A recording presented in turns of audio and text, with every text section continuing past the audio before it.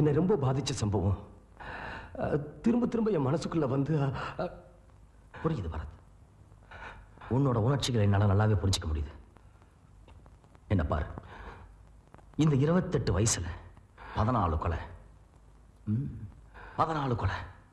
அதுவும் ஒரே நாளில் பண்ணியிருக்கேன் நாலு சாராய வியாபாரிங்க. அதுக்கு சப்போர்ட்டாக இருந்த எட்டு போலீஸ்காரங்க. எல்லாத்துக்கும் காரணமா இருந்த ரெண்டு எம்எல்ஏங்க. அத்தனை பெரிய ஏன் கையாளிய கொன்ன? ஆனா எனக்காக இல்ல. என் ஊர் ஜனங்களுக்கா ஆனா இப்ப நான் கூட உன்ன வரதான் பரத். ஆரம்பத்துல கனவு பயம். யாரை பார்த்தாலும் பயம். இந்த உலகமே சூன்யம் பிடிச்ச மாதிரி இருந்துச்சு. அப்புறம் நானே என்னை மாத்திக்கிட்டேன். இப்ப எல்லாமே பழகி போச்சு. என்ன ஈஸ்வர்? ஈஸ்வர். ஈஸ்வர். பதினஞ்சு வருஷத்துக்கு முன்னால் இந்த மெட்ராஸ்க்கு நேர்மை நாணயம் அன்பு மரியாதையோட தான் வந்தேன். ஆனா இந்த மெட்ராஸ் என்ன? கத்தி துப்பாக்கி கொலை கொள்ளைன்னு மாத்திடுச்சு. யூனிவர்சிட்டியில லட்சக்கணக்கான மக்களோட கைத்தட்டலுக்கு நடுவுல கோல்டு மெடல் வாங்கின கை. இந்த கை கொலை செய்யுமா பரத். சொல்லு பரத் கொலை செய்யுமா நீதிக்கு பணம் மட்டும்தான் தெரியுது பரத். பட்டம் படிப்பு இதெல்லாம் தெரியாது. இப்ப இந்த கை. இந்த இரும்பு கம்பிகளை பிடிச்சு பிடிச்சு பழகி போச்சு. உனக்கு அப்படித்தான் வராது. இந்த சுவரு நம்ம சுத்தி இருக்கிற இந்த இருட்டு எல்லாமே போக போக உன் மனசுல இருக்கிற எல்லாத்தையும் மறக்கடிச்சிடும்.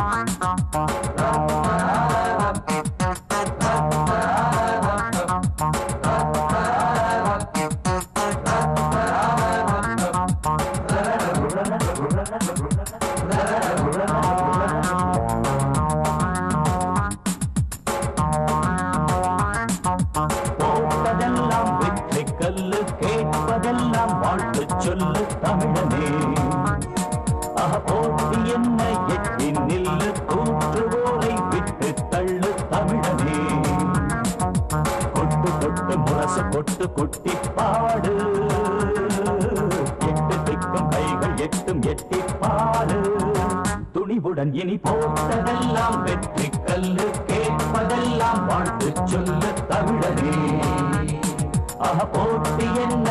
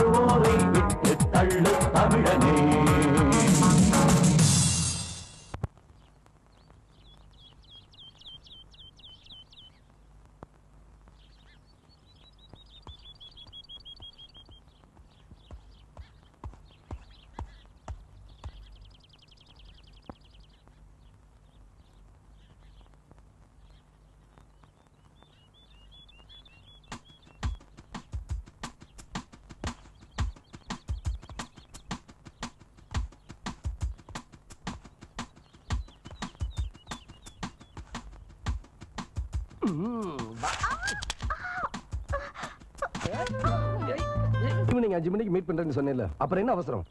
இதானே என் ஹாஸ்டல் இவ்வளவு தூரம் வந்ததுக்கு அப்புறம் என்ன பார்த்துட்டு போலாம்ல? சரி உன்னை ஹாஸ்டல்ல வந்து இறக்கி விடுறேன். வா போலாம். போலாம். ஏய் என்ன இந்த பக்கம் போற? வீட்டுக்கு. வீட்டுக்கா? Number ten Bishop Garden Madras seven ஐயோ ஏன் வீடாச்சே? ஒரு பொண்ணுக்கு உண்மையான புகுந்த வீடு. புருஷனோட வீடு தான் அஹ், நீ சொல்றதெல்லாம் கரெக்டு தான். அதான் கல்யாணத்துக்கு அப்புறம் ஃபர்ஸ்ட் நைட்டு முடிஞ்சதுக்கு அப்புறம். எப்ப பார்த்தாலும் விளையாட்டு தான். லவ்வோட சீரியஸ்னஸே தெரியாத உங்களுக்கு? நான் தான் உங்களை லவ் பண்ணோம் நான் தான் உங்க பின்னாடியே சுத்தணும். ஆனா நீங்க கண்டுக்கவே மாட்டீங்க. உங்களுக்கு என்ன? அண்ணா அண்ணி வீடு எல்லாம். ஆனா எனக்கு நீங்க மட்டும்தான். உங்களை தேடி ஃப்ரெண்ட்ஸ் கிட்ட கேட்டா ஜிம்ல பிராக்டிஸ் பண்ணிட்டு இருக்காருன்னு சொல்லுவாங்க. அங்க வந்து பார்த்தா இப்பதான் வீட்டுக்கு போனாருன்னு சொல்லுவாங்க. வீட்டுக்கும் வரக்கூடாது. அட்லீஸ்ட் போ அது கூட பண்ணக்கூடாது. கேட்டா ஐயோ அண்ணனுக்கு தெரிஞ்சு அவ்வளவுதானே பயந்துருவீங்க. எப்படி எப்படி பரத் இப்படி இருந்தா? இந்த பாரு எங்க அண்ணனை பத்தி தான் உனக்கு நல்லா தெரியும்ல? நானே அவர்கிட்ட பேசி நல்ல முடிவை சொல்றேன். இதெல்லாம் நடக்காத காரியம். நாளைக்கு நானே உங்க வீட்டுக்கு வந்து வந்து? உங்க அண்ணன் கிட்ட எல்லா மேட்டரையும் பேசி பேசி? உங்களை மாப்பிள்ளை கேட்க போறேன். ஐயோ குடிய கெடுத்துருவ போல இருக்க. இதுக்கெல்லாம் டைம் வேணும். கொஞ்சம் வெயிட் பண்ணு. என்ன? எவ்வளவு டைம் வேணும்? நாளைக்கு ஈவினிங் ஃபைவ் தேர்ட்டி வரைக்கும்? இந்த காதலுக்கெல்லாம் ஒரு நாள் பத்தாது. ஓகே த்ரீ தேர்ட்டி இந்த விளையாட்டு தனமா ஓகே பேச ஒன் ஓ கிளாக் ஐயோ புரியாம பேசுறியே. ஐயோ சரி சரி சரி சரி. எயிட் தேர்ட்டி எயிட் தேர்ட்டிக்கு ஃபோன் பண்ணுவேன் பதில் தெரிஞ்சாகணும். இல்ல? சரி சரி. ம் பாரு ஐயோ ச்சே.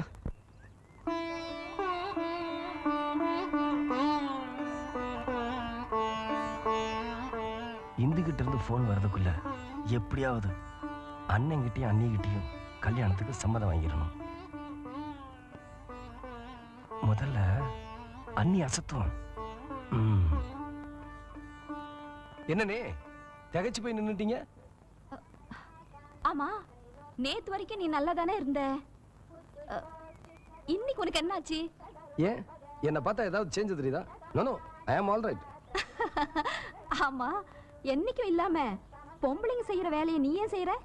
அண்ணே அது ஒரு சிம்பத்தி இந்த மார்கழி மாச குளிர்ல தினம் காலையில எந்திரிச்சு நீங்க கோலம் போடுறீங்களே குளிர் அட்டாக் பண்ணி உங்க உடம்புக்கு ஏதாவது ஒன்று ஆச்சுன்னா? அதனாலதான் நானே கோலம் போட்டேன். மார்கழி மாச குளிர்ல என் உடம்புக்கு ஏதாவது ஆயிடுமோன்னு அக்கறை உனக்கு. இல்ல? உனக்கு ஒரு விஷயம் தெரியுமா? மார்கழி மாசம் முடிஞ்சு பத்து நாள் ஆச்சு. என்னது? பத்து நாள் ஆச்சா? நீ இதெல்லாம் எதுக்கு செய்யறேன்னு எனக்கு நல்லா தெரியும். வீட்டு வேலையெல்லாம் நான் ஒருத்தியே செய்யறதுனால ஒத்தாசிக்கு ஒரு ஆளு வேணுங்கிற. அதேதான் நீ. அப்ப நாளைக்கே நாளைக்கே? ஒரு வேலைக்காரியை வச்சுப்பேன் வேலைக்காரியா? அண்ணே வேலைக்காரியா? அவங்கெல்லாம் சம்பளத்துக்கு வேலை பார்க்கறவங்க சின்சியரா வேலை பார்க்க மாட்டாங்க.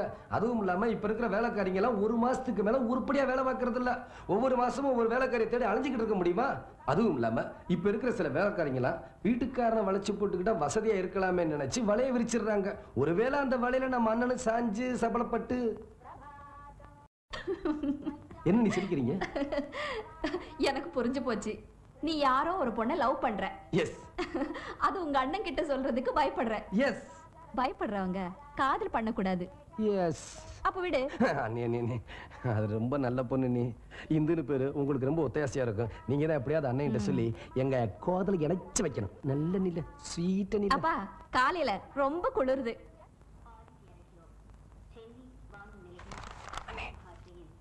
பரத்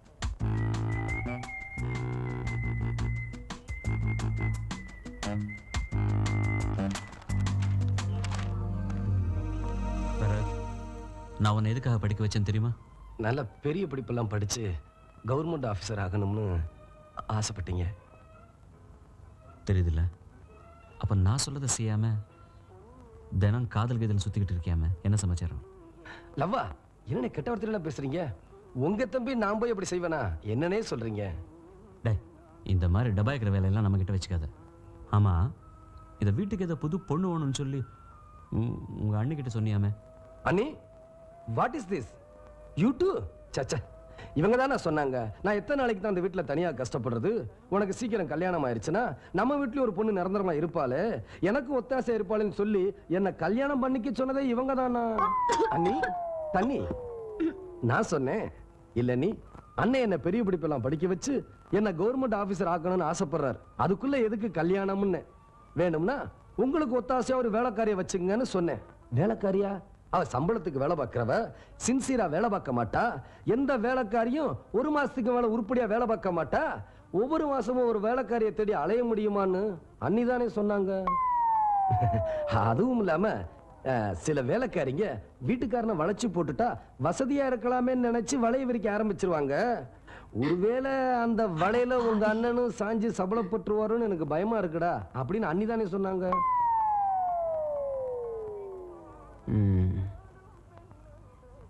ஆ. நான் போய் உங்களை கேட்காம கல்யாணத்துக்கு சம்மதிப்பேனா என்ன போய் சந்தேகப்படுறீங்களே? நீ உட்காருங்க. நான் போயிட்டு டேய் டேய் டேய் டேய் நீ உட்கார்றா நான் போறேன். நான் பாத்துக்கிறேன். எஸ் யாரு? பரதா. இந்து பேசுறேன். என்னாச்சு நம்ம விஷயம்? ஓகேயா? இன்னும் சொல்லலையா? தெரியும் எனக்கு நல்லா தெரியும். இப்படித்தான் எங்க அண்ணன் கிட்ட சொல்றேன். வெயிட் பண்ணுன்னு சொல்லி சொல்லி ரெண்டு வருஷமா வெயிட் பண்றேன்.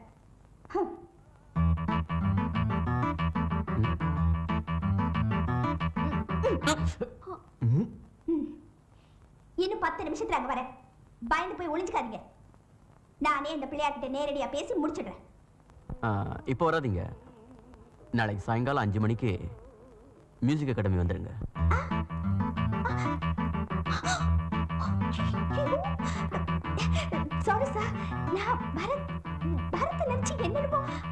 நீங்க தெரியாம ப்ளீஸ் ஐம் so சாரி சரி சரி அதான் சொன்னேன்ல. நாளைக்கு சாயங்காலம் அஞ்சு மணிக்கு மியூசிக் அகாடமியில் உங்களை பார்த்ததுக்கு அப்புறம் சொல்கிறேன் okay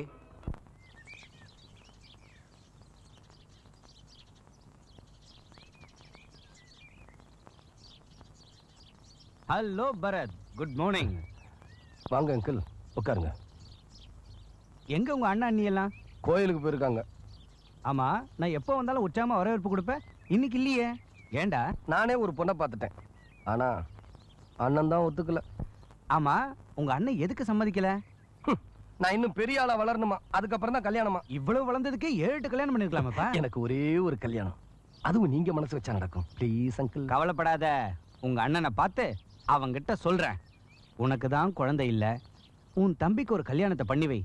அவனுக்கு குழந்தை பிறந்து இந்த வீட்ல குழந்தை சத்தம் கேட்கட்டும்னு சொல்றேன். அப்படித்தான் அண்ணியும் சொன்னாங்க. என் தம்பி தான் எனக்கு புள்ள எனக்கு எதுக்கு புள்ளன்னு சொல்லிட்டாரு. அவன் அப்படியா சொன்னா? அங்கிள் நீங்க எது சொன்னாலும் அண்ணனும் அண்ணியும் தட்டினதே இல்ல. தட்டவும் மாட்டாங்க. பரதனுக்கு உடனே கல்யாணம் நடக்கணும். பத்தே மாசத்துல அவன் குழந்தை எடுத்து நான் கொஞ்சணும்னு ஸ்ட்ராங்கா சொல்லிருங்க. என்ன அங்கிள் யோசிக்கிறீங்க? எங்க குடும்பத்துக்கு எல்லாமே நீங்க தானே ஓகே. உங்க அண்ணனுக்கு நான் தான் கல்யாணம் பண்ணி வச்சேன். உனக்கும் நானே பண்ணி வைக்கிறேன். டோன்ட் வரி தேங்க்யூ அங்கிள்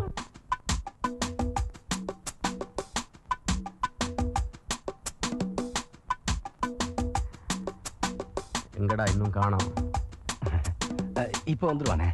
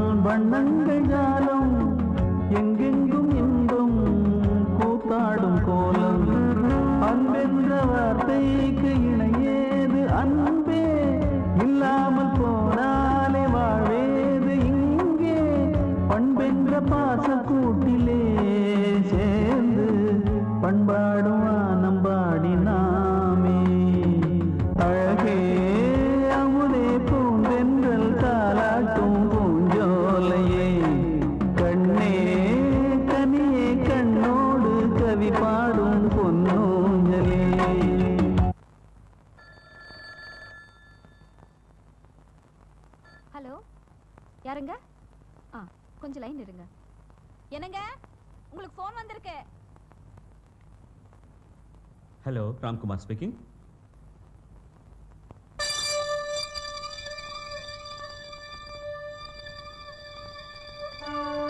என்னங்க இதோ வந்து.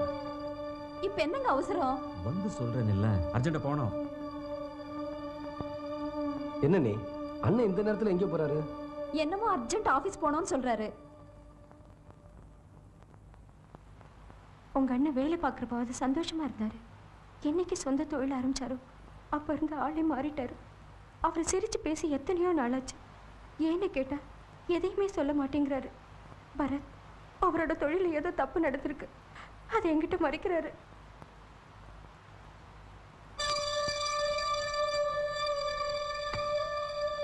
நீ போய் படுத்துக்கப்பா. காலையில் சீக்கிரமாக நீ பெங்களூர் புறப்படணும்ல?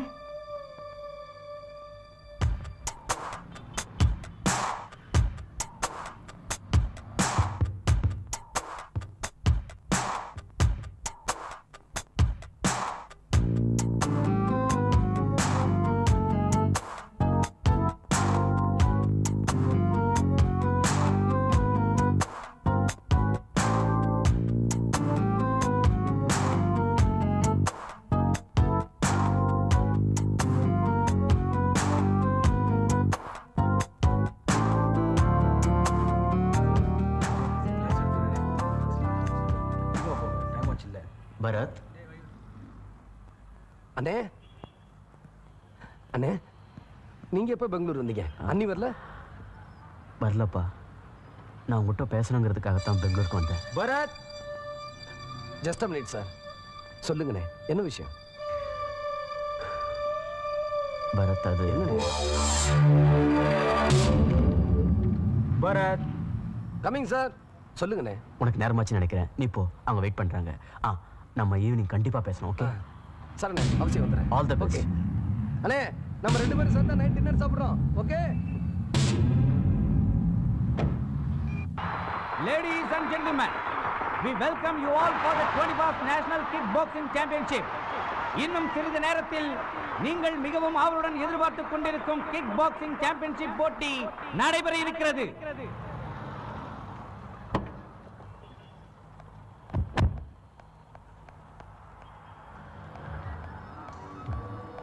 Excuse me. மெட்ராஸ்ல இருந்து பரத் இங்கே தானே தங்கியிருக்காங்க? ஆமா இப்போதான் அவங்க டீமோட வெளியே போனாங்க. நீங்க அவங்க சிஸ்டரா ம் அம்மா. அம்மாவா? ஆமா அவர் குழந்தைக்கு. ஆ? இப்பொழுது சென்னையைச் சேர்ந்த பிரபல குத்துச்சண்டை வீரர் பரத் வந்து கொண்டிருக்கிறார். இதோ உங்கள் பரத்தை எதிர்த்து போட்டியிடும் லக்னோவைச் சேர்ந்த உத்தம் சிங்.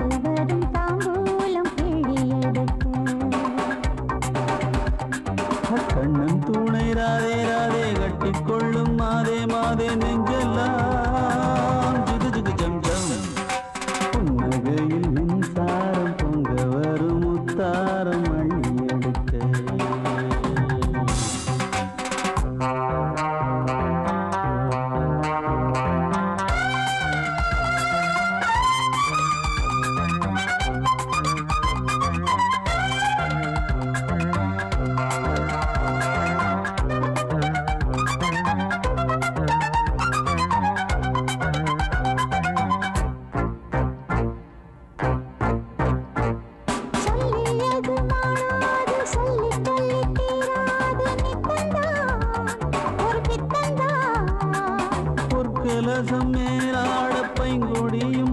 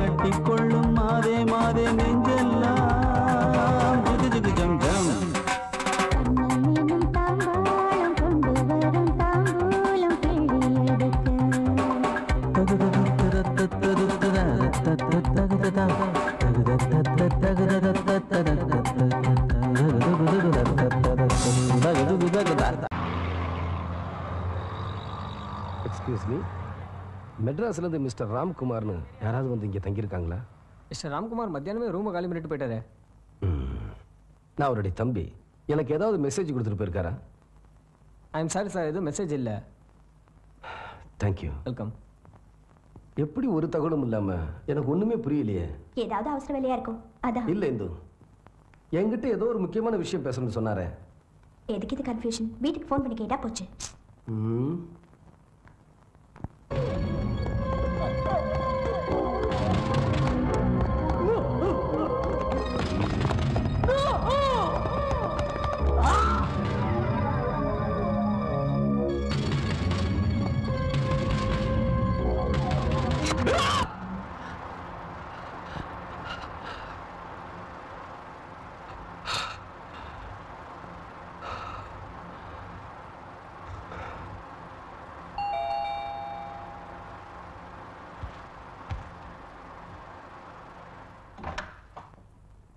சார் உங்களுக்கு phone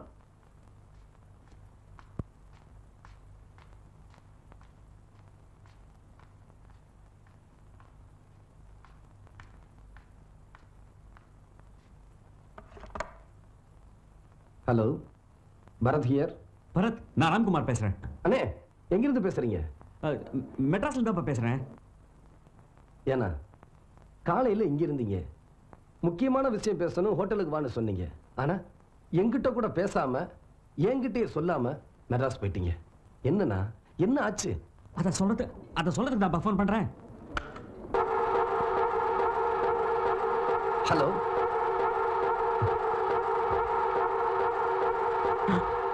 ஹலோ? ஹலோ?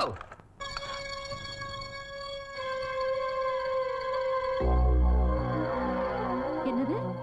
உங்க அண்ணன் மெட்ராஸ்ல இருந்து பேசினாரா? இங்க இருக்கிற ஒரு மூணு நாளா ஏன் வீட்டுக்கு வரல?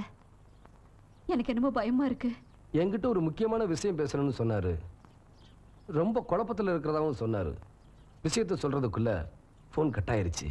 அவர் கையில இருக்க ரிசீவரை யாரோ பிடிங்கிட்ட மாதிரி எனக்கு தோணுச்சு. ம்? ஏன்னி இந்த விஷயத்தை பத்தி உங்ககிட்ட ஏதாவது பேசினாரா? கொஞ்ச நாளாவே அவர் ரொம்ப கவலையா இருக்காரு.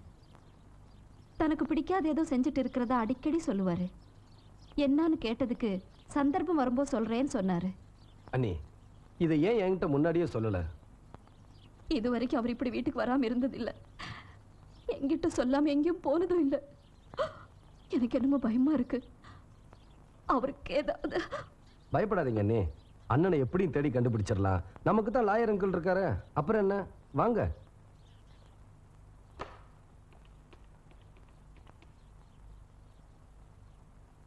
ஹலோ. வக்கீல் விஸ்வநாத் இருக்காருங்களா? எப்போ வருவாரு? ஆ. வெளியூர் போயிருக்காரா? வர பத்து நாள் ஆகுமா? கங்காதரன் கூட உங்க அண்ணன் தொழில் ஆரம்பிக்கிறதுக்கு முன்னாடி நான் உங்க அண்ணன் கிட்ட தான் வேலை செஞ்சுட்டு இருந்தேன். அதுக்கப்புறம் இந்த ஒர்க் ஷாப்புக்கு வந்துட்டேன். கொஞ்ச நாளைக்கு முன்னால உங்க அண்ணனுக்கும் கங்காதரனுக்கும் ஏதோ பிரச்சனைன்னு கேள்விப்பட்டேன். ஆனா என்னன்னு தெரியல. நான் உங்ககிட்ட எத்தனை தடவைங்க சொன்னது? நீங்க நினைக்கிற மாதிரி கங்காதரன் சாதாரண ஆள் கிடையாது. உங்க அண்ணன் ராம்குமார் மாதிரி எத்தனையோ பேர் அவர்கிட்ட வேலை செஞ்சுக்கிட்டு இருக்காங்க. என்ன நடந்தது சொல்லியா? என்ன நடந்தது நீயே உண்மையை சொல்லியா? என்னையா நீ சொல்லு அவன் சொல்லு. என்ன விளையாடுறீங்களா ஸ்டேஷன்ல வந்து? ஆமா ஆமா. ஆ ஃபங்க்ஷன் போயிருந்தேன். அன்னைக்கு பார்த்தோம்ல அதே ப்ளூ கலர் புடவையா? சும்மா சொல்லக்கூடாதுயா? முப்பது வயசுலயும் சின்ன பொண்ணு மாதிரி இருக்கா? சும்மா டக்கரா. வணக்கம் சார் ஆ. சரி சரி. ஒரு மணிக்கு நான் உன்னை ஐஸ் ஹவுஸில் பார்க்குறேன் ம். ஆ நீ சொல்லு. என் பேர் பரதன். எங்க அண்ணன். ராம்குமாரை கொஞ்சம். என்ன நேற்று ராத்திரி ஆளையே காணோம். அதை ஏன் கேட்குற நேற்று நைட்டு பூக்கடை பக்கம் ரைடு போயிருந்தானா? அதான் அந்த கஸ்மாலம் இருட்டில் கஸ்டமர் நினச்சி ஏன் மேலே விழுந்துட்ட? இன்ஸ்பெக்டர் கொஞ்சம் நான் சொல்றதை கேட்குறீங்களா கேட்டு தான் இருக்க. நான் என்ன காதை மூடிய வச்சிருக்கேன்? சொல்லு. என்னையா உன் கதை? கதை இல்லை இன்ஸ்பெக்டர் நிஜம். எங்க அண்ணனை கொஞ்ச நாளா காணோம். ஓ கம்ப்ளைண்ட் மேட்ரா அது வந்து அந்த டேபிளில் ரைட்டர் இருப்பார். ஓ அவரும் இன்னைக்கு லீவா ஆ நீ ஒரு காரியம் பண்ணு.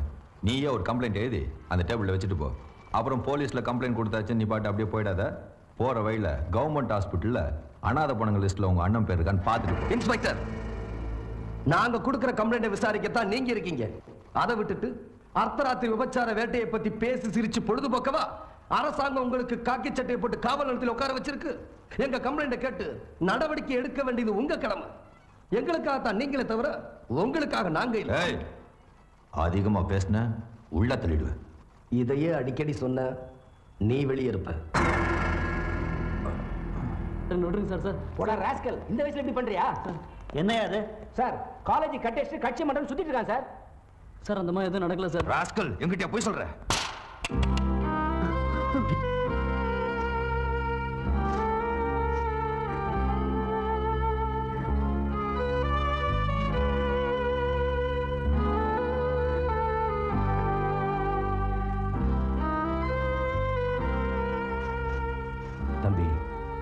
அழுப்பா?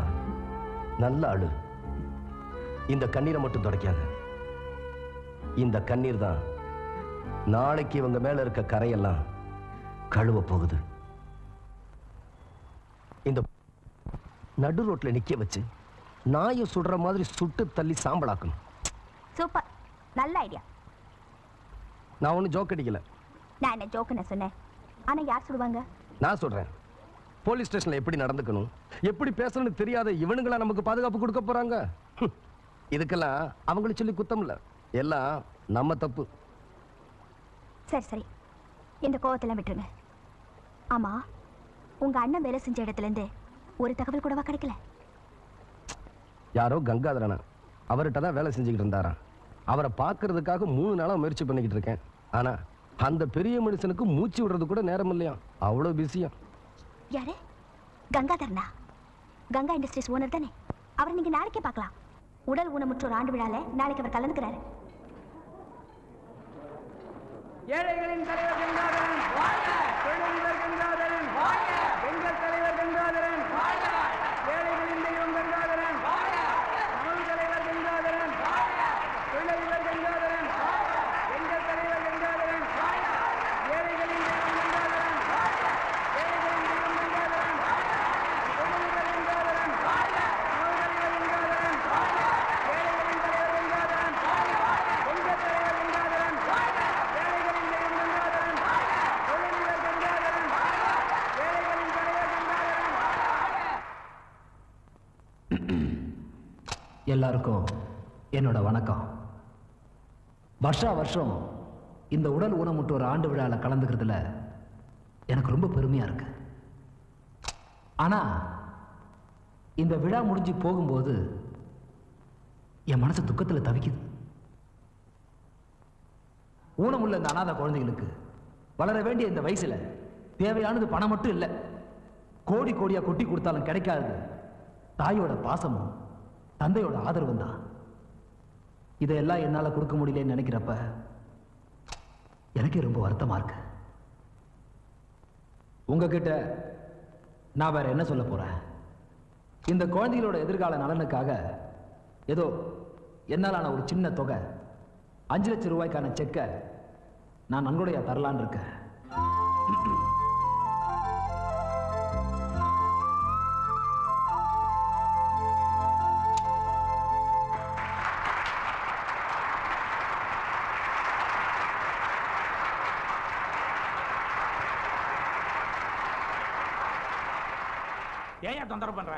அவர் பார்த்தாகணுங்க முடியாதியா சொன்னா கேளியா வழிபடியா முடியா ஏயா தொந்தரவு பண்ணிட்டு வர நான் பார்க்கணுங்கிற.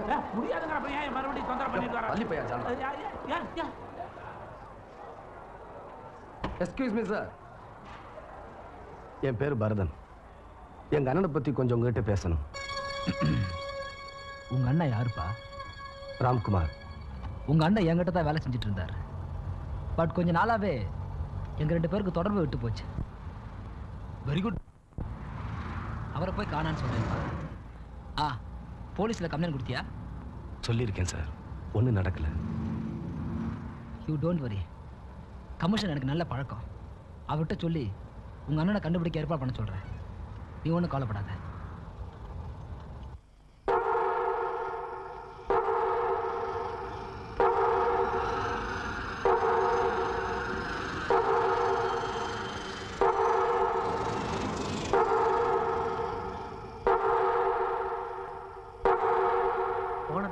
அனுப்பிச்ச சரக்கு சரியில்லைன்னு சொன்னாரு. சரக்கு சரியில்லையா? எவன்டா சொன்னா எங்க சரக்கு சரியில்லைன்னு? எவன் சொன்னான்? இந்தியாலே நம்பர் ஒன் சரக்கு எங்க சரக்கு? ஏய் என்ன எங்க சத்தம்? நம்ம சரக்கை பத்தி தப்பா பேசுறாங்க ஐயா. சத்தம் போட்டு பேசினா எனக்கு சுத்தமாக பிடிக்காது.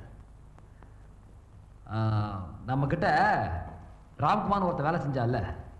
அவன் தம்பி என்ன இன்னைக்கு பார்த்தாயா? அவங்க அண்ணனை காணான்னு ரொம்ப வருத்தப்பட்டான். சரி அவனை விடு. தான் புருஷனை காணாம நான் பொண்டாட்டி எவ்வளோ வேதனைப்பட்டிருப்பா? எங்கடா வச்சிருக்கீங்க அவனை? ஐயா.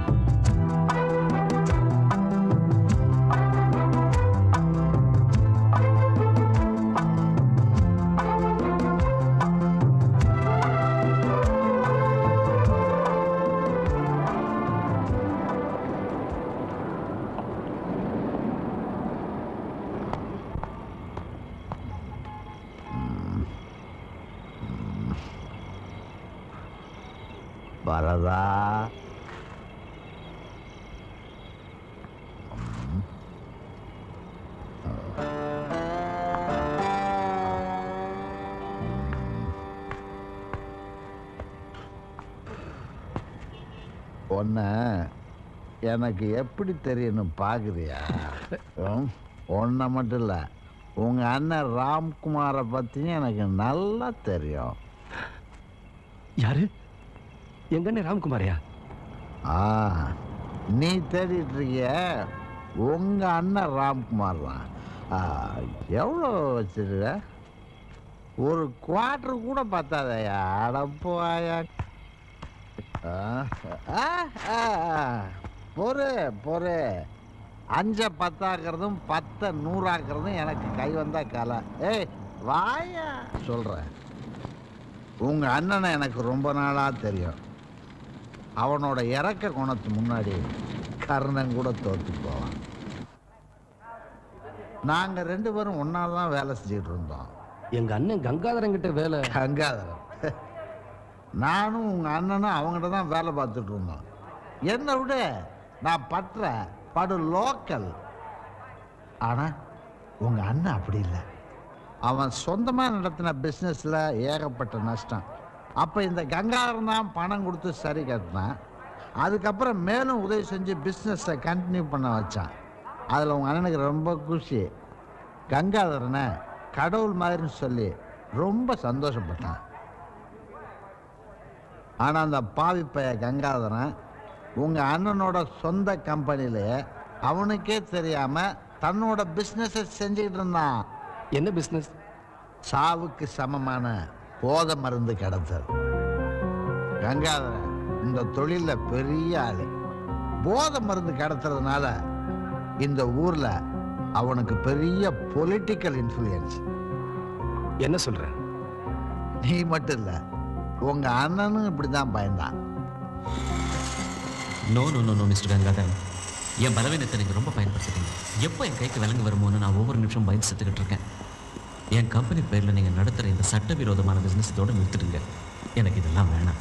என்னை விட்டுடுங்க ப்ளீஸ் இதை பாருங்கள் மிஸ்டர் ராம்குமார் போதை பழக்கத்துக்கு அடிமையானவன் எப்படி அந்த பழக்கத்தை விட முடியாதோ அந்த மாதிரி தான் போதை மருந்தை கடத்துறவனும் அதை மாற்றிக்கவே முடியாது.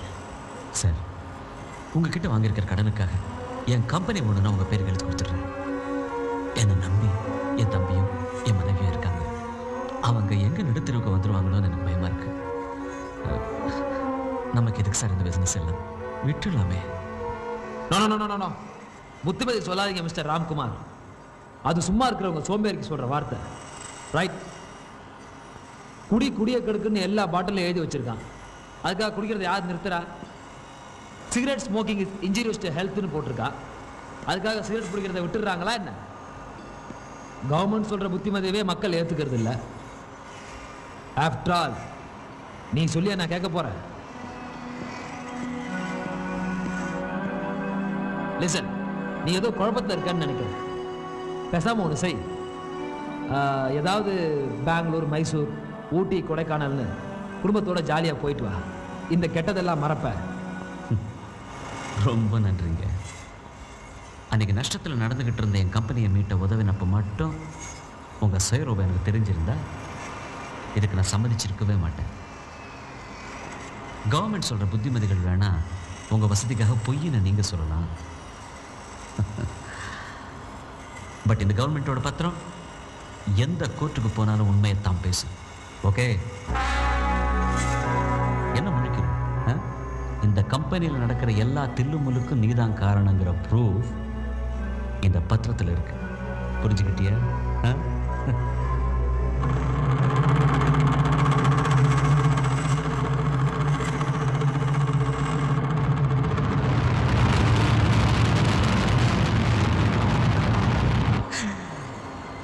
இந்த மாதிரி கொளுத்துறதுக்கு உனக்கு எத்தனை காப்பி வேணாலும் தரேன். ஆனால் இதோட ஒரிஜினலை உன்னோட நிழல் கூட தொட முடியாது. சரி. நீ ரொம்ப குழம்பிருக்கேன்னு நினைக்கிறேன். பேசாம ஒன்று பண்ணு. ஒரு வாரத்துக்காவது பெங்களூர் மைசூர் ஊட்டி கொடைக்கானல்னு போயிட்டு வா. அப்பதான் எல்லாத்தையும் மறந்துடுவேன். ஓகே. அந்த சமயத்துல தான் உங்க அண்ணன் உன்னை பெங்களூர்ல பார்த்ததா என்கிட்ட சொன்னாரு. அதுக்கப்புறம் உங்களை பார்த்தாரா? எங்க? எப்ப பார்த்தாரு? நீ உட்கார்ந்துருக்கியே. இதே இடத்துல தான் இதே இடத்துலயா? இங்க தான் இதுதான் என் உலகம். இங்க நான் தான் ராஜா. நீ என்கிட்டயே போய் சொல்றியா? உன் தம்பி இங்க வருவான்னு? சும்மா பைத்தியக்கார மாதிரி பேசாதப்பா. அவன் கண்டிப்பா வருவான். என் தம்பி பத்தி உனக்கு தெரியாது. பெங்களூர் கால் புக் பண்ணிருக்கேன் வந்துருவான். ஆ, இல்ல இல்ல இல்ல இல்ல. அவன்கிட்ட என் கஷ்டத்தெல்லாம் சொன்னா ரொம்ப துடிச்சு போயிடுவான்ப்பா சார் உங்களுக்கு ஃபோன் பாத்தியா? சொன்னல எனக்கு ஏதாவது ஒன்று ஆச்சுன்னா ஓடி வந்துருவான். அவன் அப்படிதான் வந்துடுறேன். இங்கே இரு. பரத் நான் ராம்குமார் பேசுகிறேன் ப்ளீஸ் நான் தான் பேசுகிறேன்ப்பா நான் மெட்ராஸ்ல தான் பேசுகிறேன்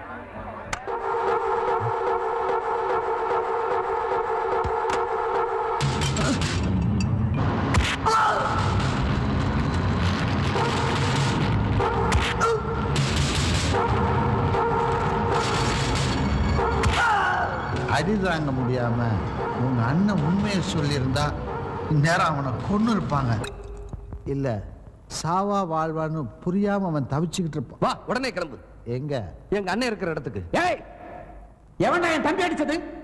அதுவும் ஏன் இடத்துல வந்து? ஆ? ஆ? ஐயோ இவன் கங்காதரனோட ஆளு. அவனுக்கு இவன் தான் வலது கையே. இறங்கி வா கீழே. இவன் தான் உங்க அண்ணனை அடிச்சவன். வா போயிடலாம்.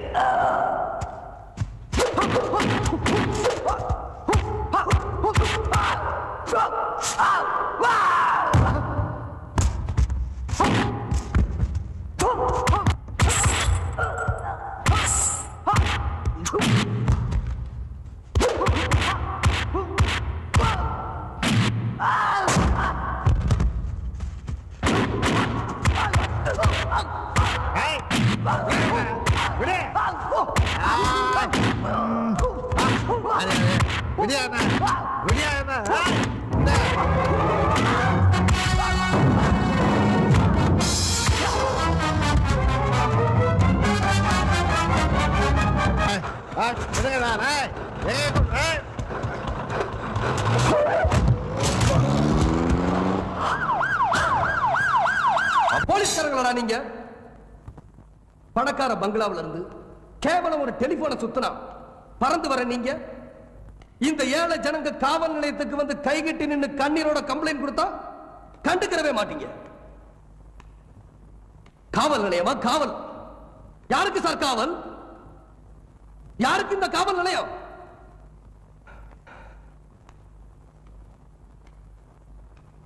கடத்தல்காரங்களுக்கு ஜெயில ஃபர்ஸ்ட் கிளாஸ்ல ஏசிடும் கஞ்சிக்கே வழி இல்லாத இந்த ஏழை ஜனங்களுக்கு லாக்கப் ரூமா லாக்கப்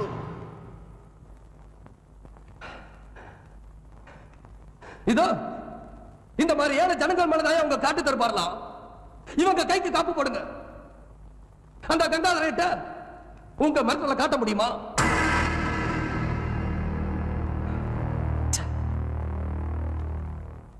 போங்கயா எல்லாம் போங்க. அவன் வீசி எறிகிற எச்சு எலும்பு துண்ட சாப்பிட்டுட்டு இந்த அப்பாவி ஜனங்க மேல பாயுங்க. சபாஷ் இன்ஸ்பெக்டர் சபாஷ். நல்லா பண்றீங்க. ரொம்ப நல்லா பண்றீங்க. இப்ப நான் மட்டும் ஒரு மாண்பு மிகுவா இருந்திருந்தா எல்லா அரசாங்க மரியாதைகளையும் கொடுத்து பளிச்சுன்னு தெரியற மாதிரி ஒரு மெடலையும் குத்தி உங்களை பதவி உயர்த்திருப்பேன். எங்க கிளம்பிட்ட? இதுக்கெல்லாம் நீ ஒரு நாள் பதில் சொல்லித்தான் ஆகணும். Yes you have to pay for this you have to pay for this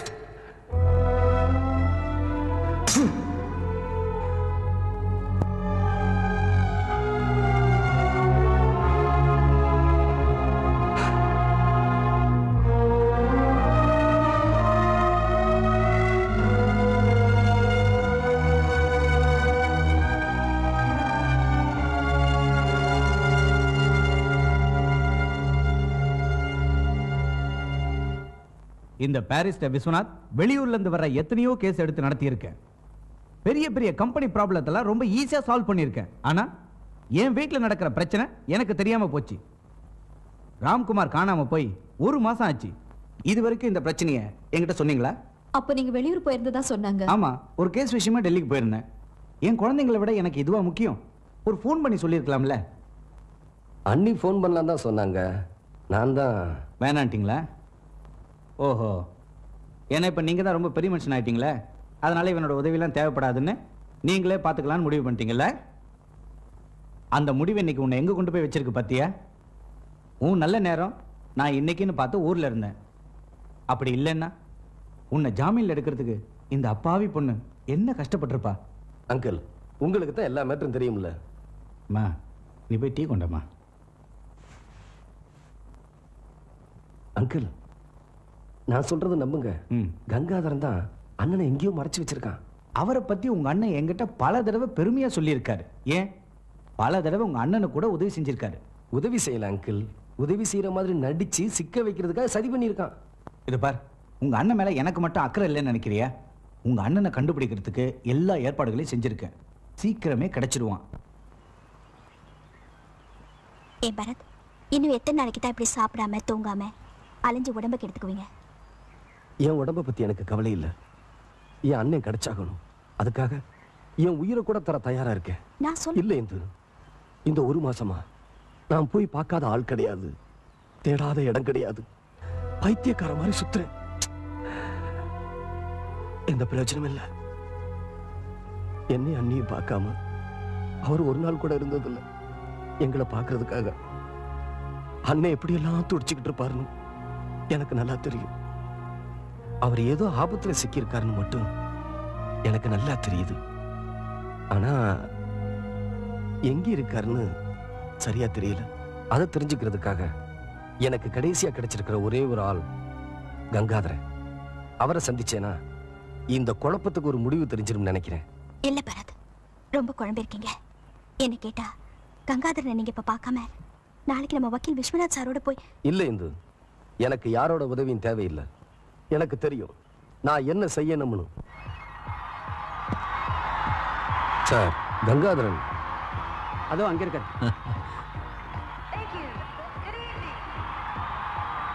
mister Gangadharan நான் உங்ககிட்ட கொஞ்சம் பேசணும். பிஏ கிட்ட கூட்டு போ இல்ல நான் உங்ககிட்ட தான் பேசணும். நாளைக்கு ஆபீஸ்க்கு வந்து பாருங்க. நாளைக்கு இல்ல இங்கேயே. இப்பவே பேசி ஆகணும் எக்ஸ்கியூஸ் மீ வாங்க.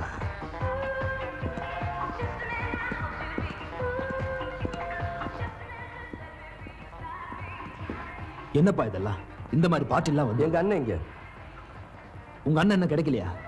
நான் இது விஷயமா அன்னைக்கே கமிஷனருக்கு ஃபோன் போட்டு பேசி எல்லா ஏற்பாடு இந்த பார்ட்டியில உன் மானம் போறதுக்கு முன்னாடி எங்க அண்ணன் எங்க இருக்காருன்னு உண்மையை சொல்லிடு.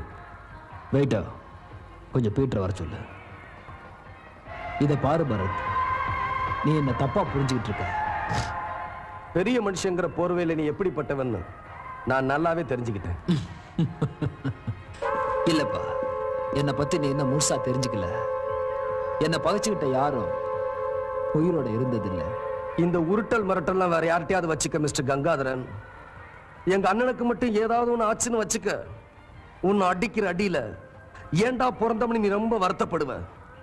இப்ப எந்த நாய்களோட தைரியத்துல நீ குலைக்கிறியோ அதுங்க ஒண்ணு கூட உன் பக்கத்துல நிக்காது. இப்ப போறடா நாளைக்குள்ள என் அண்ணனை என்கிட்ட ஒப்படைக்கல. உன் ரத்தத்தை நான் உறிஞ்சிருவேன்டா உனக்கு நான் தாண்டா ஏம. இல்ல எனக்கு ஒரு I'm all right I'm all right பார்க்கறதுக்கு டீசெண்டா இருக்கா?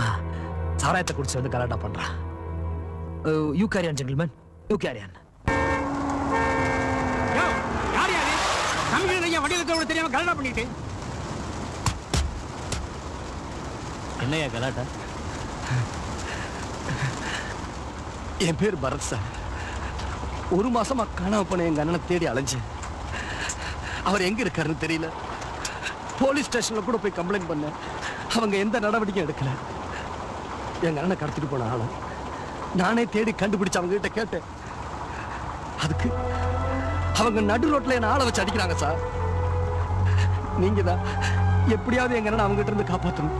நடத்தி வச்சிருக்காங்க. யார் அவன்? கங்காதரன் சார். உனக்கு ரொம்ப அடிபட்டிருக்கு. ஃபர்ஸ்ட் ஹாஸ்பிட்டலுக்கு போய் உடம்ப கவனிச்சுக்க. எனக்கு இந்த அடியெல்லாம் ஒண்ணு பெருசு இல்ல சார். நீங்க என் அண்ணனை கண்டுபிடிச்சு கொடுப்பீங்களா? நாளைக்கு இந்த விஷயத்தை பத்தி டிஎஸ்பி கிட்ட பேசுறேன். சட்டப்படி நடவடிக்கை எடுப்பாரு. நடவடிக்கை எடுப்பாரா? இந்த சட்டப்படி நடவடிக்கைங்கிற பேர்ல உங்க போலீஸ் டிபார்ட்மெண்ட் செய்யற ஏமாத்து வித்தையை பார்த்துக்கிட்டு தான் இருக்கு அங்க என் அண்ணனோட உயிர் ஊசல் அடிக்கிட்டு இருக்கு. நீங்க என்னடா சட்டப்படி நடவடிக்கை எடுப்பேங்கிறீங்க. இதோ பார் தம்பி போலீஸ்காரங்களுக்குன்னு சில சட்டத்திட்டங்கள் இருக்கு.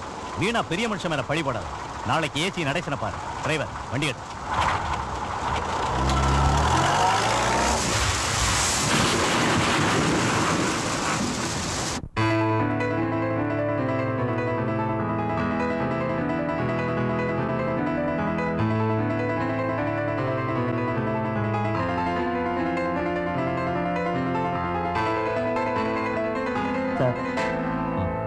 நாம் எந்த டாக்குமெண்ட்டுக்காக ராம்குமாரை கடத்தி வச்சுருந்தோமோ அந்த ஒரிஜினல் டாக்குமெண்ட் கிடச்சிருச்சு.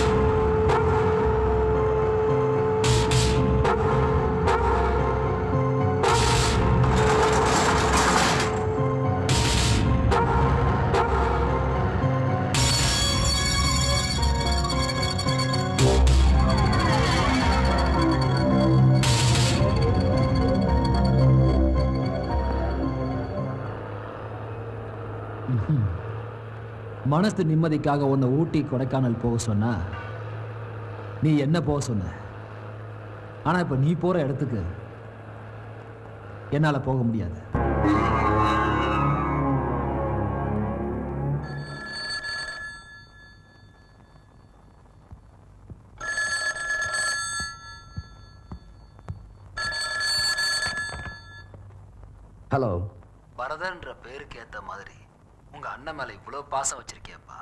கங்காதரா.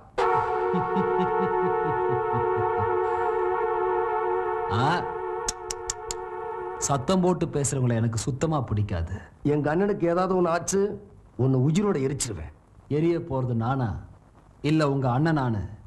சென்ட்ரல் பார்க்குக்கு போனதுக்கு அப்புறம் முடிவு பண்ணிக்கோ. வரண்டா வரேன்.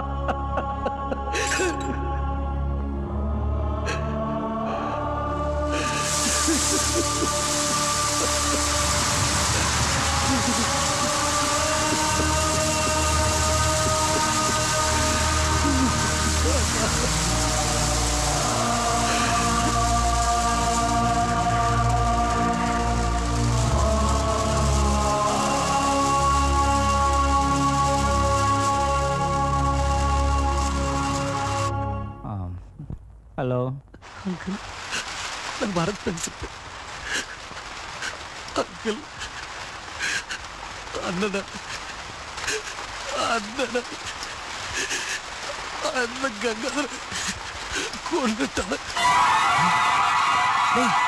என்னடா சொல்ற இப்ப நான் என்ன பண்றதுன்னு எனக்கு ஒண்ணுமே புரியல நான் இங்க சரியா தான் இருக்கேன் எனக்கு புரியல சரி நீ எங்க இருந்து பேசுற சென்ட்ரல் பார்க் பக்கத்துல நீ அங்கேயே இரு நான் வந்துடுறேன் டேய் எங்கேயும் போயிடாத இங்கே இருக்கேன்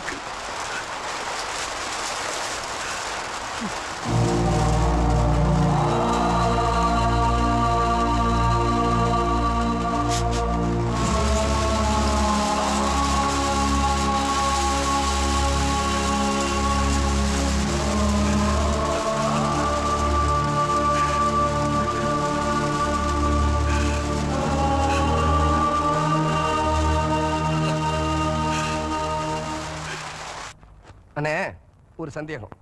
அம்மா உங்களுக்கு ராமகுமார்னு பேர் வச்சுட்டு எனக்கு லட்சுமணன் தானே பேர் வைக்கணும்? அப்புறம் ஏன் பரதன் பேர் வச்சாங்க? அது ஒன்றும் இல்லைப்பா சொல்கிறேன் கேளு. ராமன் கூட லக்ஷ்மணன் காட்டுக்கு போய் அண்ணன் பட்ட கஷ்டத்தெல்லாம் இவனும் கூட இருந்து அனுபவிச்சான் இல்லையா? ஆனால் நீ அந்த மாதிரி இல்லை. நான் படுற கஷ்டத்தை எல்லாம் நீ அனுபவிக்க கூடாதுங்கிறதுக்காக தான் அம்மா உனக்கு பரதன்னு பேர் வச்சிருக்காங்க.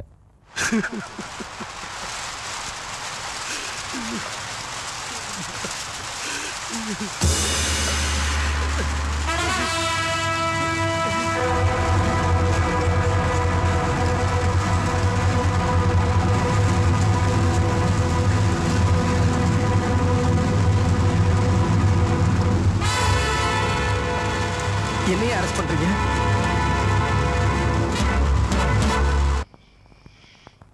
ஒன்றும் கவலைப்படாதம்மா. நான் தான் வந்துட்டேன்ல. இனி ஒன்றும் நடக்காது. என்னை பத்தி கூட நான் கவலைப்படல. அங்க பரதன் ஜெயில என்ன கஷ்டப்படுறானோ.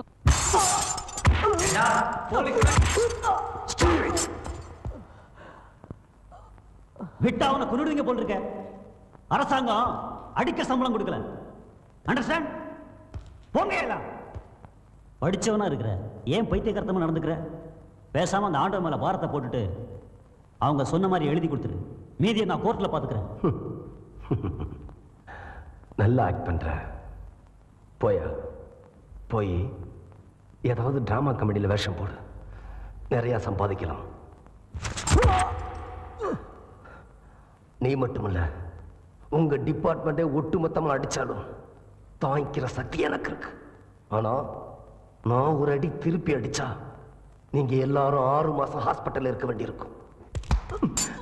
இப்ப நீ தான் ஹாஸ்பிட்டல் போகிற உன்னை அணு அணுவா சித்திரவதை பண்ணி அடிச்சே கொல்ல போறேன்.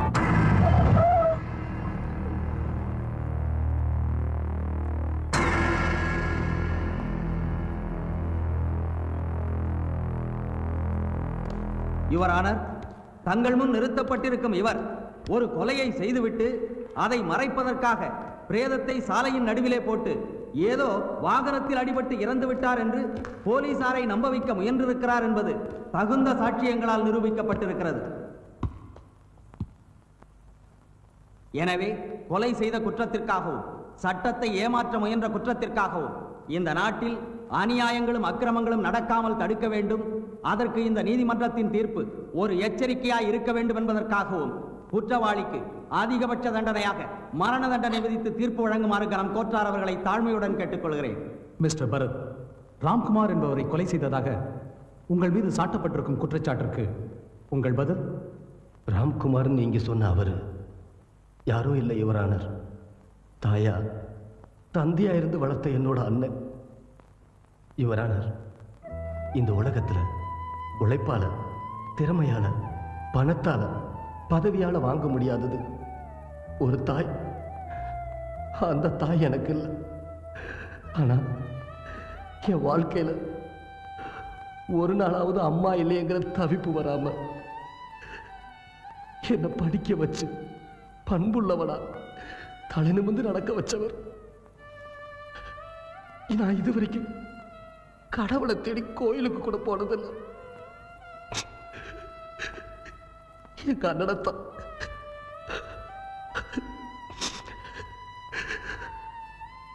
அப்படிப்பட்ட அண்ணனை கொலை செய்ய வேண்டிய அவசியம் எனக்கு இல்லை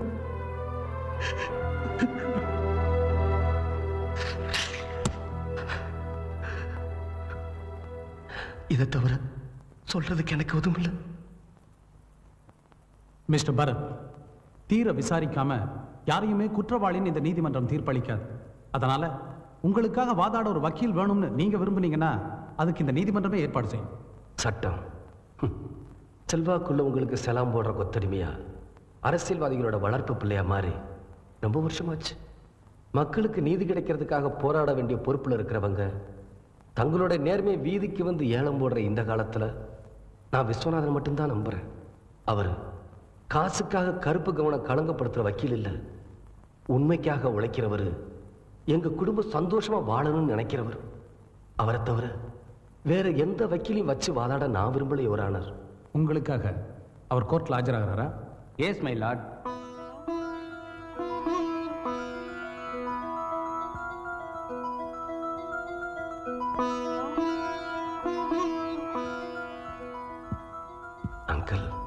your honour ஒரு வக்கீலாக இருந்து நான் வாதாடுறதை விட ஒரு சாட்சியாக இருந்து நான் சொல்ல போகிற உண்மை இந்த வழக்குக்கு ரொம்ப உதவியாக இருக்கும்னு நான் நினைக்கிறேன். எஸ் ப்ரொசீட்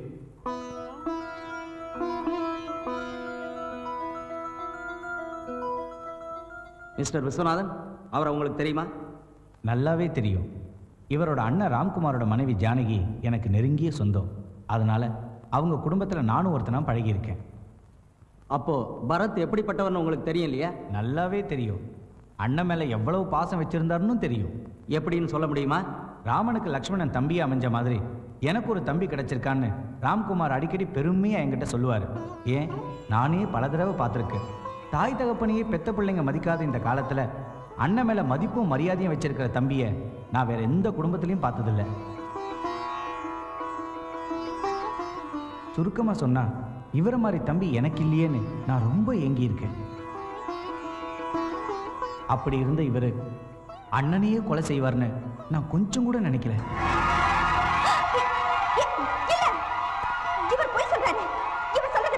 ஆர்டர் ஆர்டர் சென்டர் அவுட்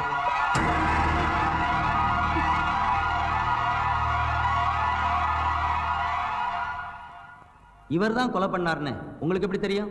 கொலை நடந்த ராத்திரி ஒரு மணிக்கு அவரே எனக்கு ஃபோன் பண்ணாரு. அண்ணனை நான் கொலை பண்ணிட்டேன் அங்கிள் என்னை எப்படியாவது காப்பாத்துங்கன்னு கெஞ்சினாரு. இல்ல இவரையும் கங்காதர விலை கொடுத்து வாங்கிட்டார். இவரை நம்பாதீங்க. இவர் சொல்றதெல்லாம் போய். பொய்யா இருக்கணும்னு கடவுளை வேண்டிக்கிட்டு தான் நானும் அவர் சொன்ன இடத்துக்கு போய் பார்த்தேன். போனா பணத்தையும் பணத்து பக்கத்தில் அவரையும் பார்த்ததுக்கு பிறகுதான் போலீஸ்க்கு ஃபோன் பண்ணேன். காப்பாத்துங்கன்னு கெஞ்சின இவருக்கு உதவி பண்ணாம எதுக்கு போலீஸுக்கு ஃபோன் பண்ணீங்க? நான் சட்டத்தையும் நீதியையும் மதிக்கிற வக்கீல். நிரபராதிகள் தண்டிக்கப்படக்கூடாது. அதே சமயத்தில் குற்றவாளிகளை தண்டிக்காம விடக்கூடாதுன்னு கொள்கை உடையவன். அதனால தான் இவரை காப்பாத்தாம நான் உடனே போலீஸ்க்கு ஃபோன் பண்ணேன். ராமனுக்கு ஒரு லட்சுமண மாதிரின்னு நீங்க தானே சொன்னீங்க? அப்படிப்பட்ட இவரு அண்ணனை கொலை செய்ய காரணம்? அதை நான் சொல்ல விரும்பல. மிஸ்டர் விஸ்வநாத் நீங்க ஒரு நேர்மையான வக்கீல். சட்டம் தெரிஞ்சவர். உண்மையை மறைக்கிறது மிகப்பெரிய குற்றம். யுவர் ஆனர் ஒரு குற்றவாளி சட்டத்திலிருந்து தப்பிவிடக்கூடாதுங்கிறதுனால தான் இவரே கொலை பண்ணாருங்கிற உண்மையை நான் உங்ககிட்ட சொன்னேன். ஆனால் அந்த குடும்பத்தில் ஏற்பட்ட அவமானம் எனக்கே ஏற்படுற மாதிரி நினைக்கிறதுனால தான் நான் சொல்ல விரும்பலை. நோ நோ நோ நீங்க சொல்ல போற காரணத்தை பொறுத்து தான் இந்த வழக்கினுடைய தீர்ப்பே அடங்கியிருக்கு மிஸ்டர் விஸ்வநாத். எதுவானாலும் உண்மையை நீங்க சொல்லியே ஆகணும். அதை சொல்றதுக்கே என் நாக்கு ரொம்ப கூசுது. எந்த புருஷன் தான் தான் பொண்டாட்டி இன்னொருத்தனோட தொடர்பு வச்சுக்கிறத பொறுத்துக்குவான்? என்ன சொல்றீங்க? கொஞ்சம் விளக்கமா சொல்லுங்க. இந்த கொலகார பாவி தான் அண்ணியையே வச்சிருந்தான். விட மாட்டேன்டா.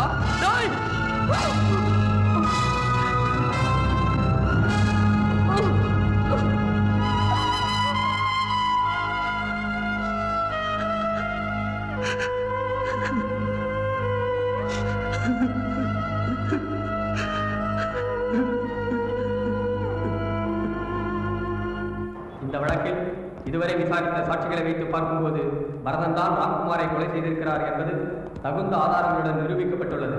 எனவே குற்றவாளி பங்கில் நிற்கும் பரதனுக்கு இபிகோ முன்னூத்தி இரண்டாவது செக்ஷன் படி மரண தண்டனை விதித்து இந்த நீதிமன்றம் தீர்ப்பளிக்கின்றது.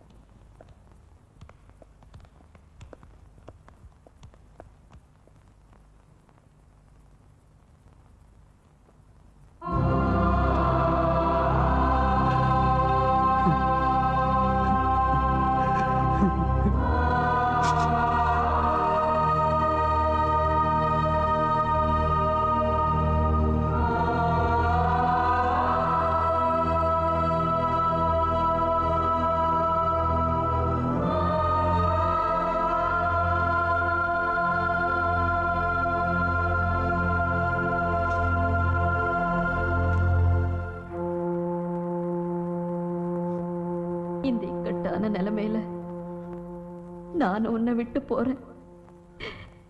என்ன மன்னிச்சிடு பரத். இது தவிர எனக்கு வேற எந்த வழியும் தெரியல. அடுத்த ஜென்மம்னு ஒன்று இருந்தா நீ எனக்கு மகனாவும் நான் உனக்கு தாயாவும் இருக்கணும்னு ஆசைப்படுறேன்.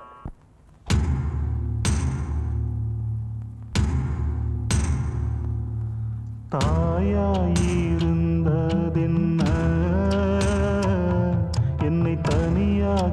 தனியாக்கி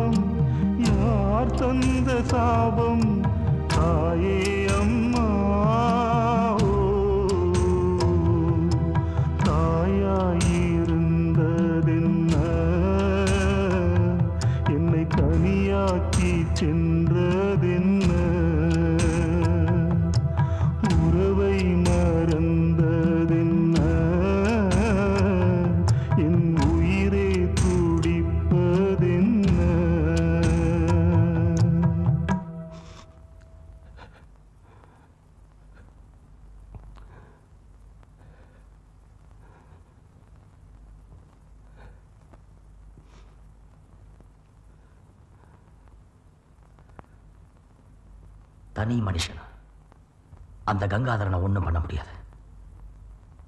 எங்களையும் சேர்த்துக்க. உனக்காக எங்க உயிரையும் கொடுப்போம். எனக்காக யாரும் ரத்தம் சிந்த வேண்டாம்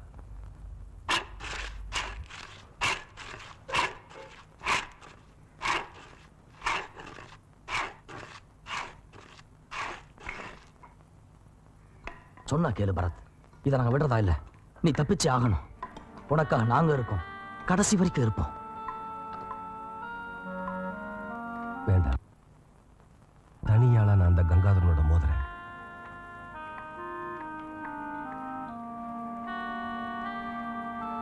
உனக்கு எதிராக அந்த கங்காதரன் மட்டுமல்ல அந்த கடவுளே மோதினாலும் கால் தூசிதான். அது எங்களுக்கு தெரியும். இதை நாங்க உனக்கு செய்யற உதவி எடுத்துக்காத. நீ எங்களுக்கு கொடுக்கிற பாவம் மன்னிப்பா நினைச்சுக்க. ஆமா பரத். காலம் முழுக்க இந்த ஜெயில கல்ல உடைக்கிறத விட அந்த கங்காதர மாதிரி ஆளுகளை கொள்றதுனால நாங்க செஞ்ச பாவம்லாம் தீரும்னு நம்புறோம் பரத். அதனால தான் சொல்றேன் நம்ம தப்பிச்சே ஆகணும். நாளைக்கு நமக்கு சரியான நாள். புது ஜெயில் கட்டுற வேலைக்காக கல்லு உடைக்கிற லிஸ்ட்ல நம்ம பேரையும் கொடுக்க முருகன் போயிருக்கலாம் நீ சரின்னு ஒரு வார்த்தை சொல்லு. நம்ம தப்பிச்சிடலாம்.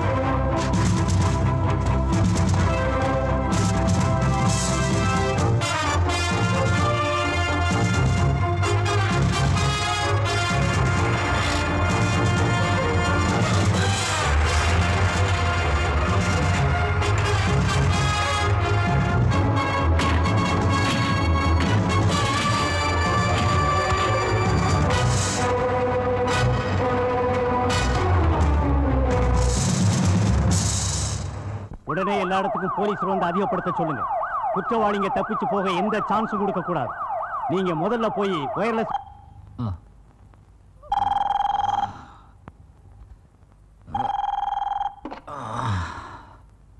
ஹலோ யாரு? உன்னை இன்னும் இருபத்தி நாலு மணி நேரத்துல உன்னை இருபத்தி நாலு துண்டாக்கி வீச போற பரத்.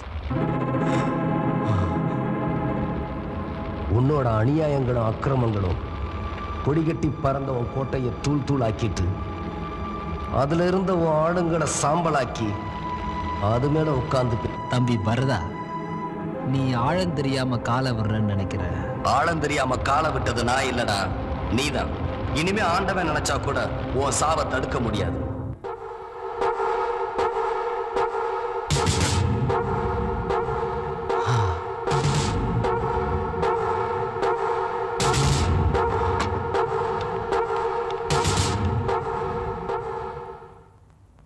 கமிஷனர் சார் இருக்காரா? எஸ் கமிஷனர் தான் பேசுகிறேன் உங்கள் பாதுகாப்புக்கு வேண்டிய எல்லா ஏற்பாடுகளையும் நாங்கள் செஞ்சுருக்கோம். நீங்கள் ஒன்றும் கவலைப்படாதீங்க.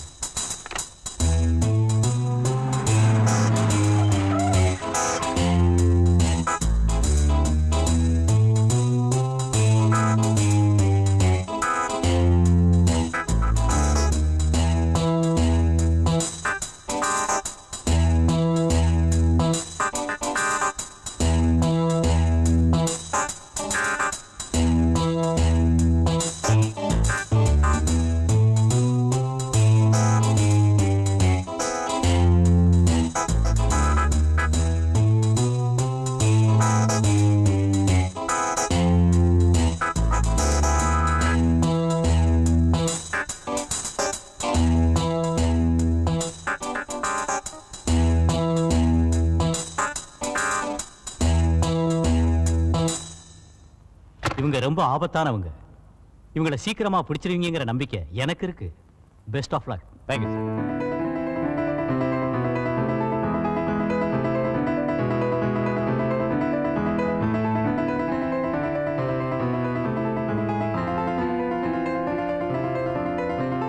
நீங்க ஒன்றும் கவலைப்படாதீங்க. எங்க போலீஸ் டிபார்ட்மெண்ட் அவனை எப்படி கண்டுபிடிச்சிடும்? நிறுத்தியா? போலீஸ் டிபார்ட்மெண்டா போலீஸ் டிபார்ட்மெண்ட். ஒரு சாதாரண பய ஜெயில இருந்து தப்பிச்சது இல்லாம என்னையே கொலபருடன் மிரட்டுறான். நான் விட போறது இல்லையா? நீங்கெல்லாம் போயா டேய். அவன் எனக்கு இருபத்தி நாலு மணி நேரம் டைம் வச்சிருக்கான்டா. நான் அவனுக்கு டைம் வைக்கிறேன். இன்னும் பன்னெண்டு மணி நேரத்தில் அவன் எனக்கு வேணும். போனமா? ஆ.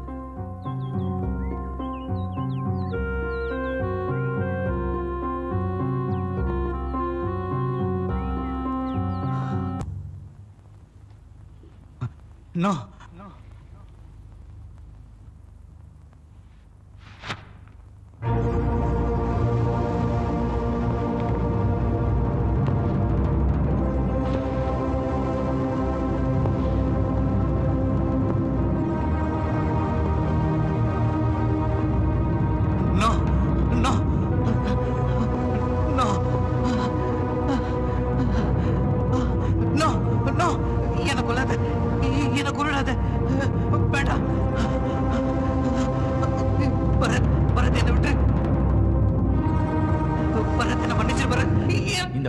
பாவி தண்ணியே வச்சிருந்தான்.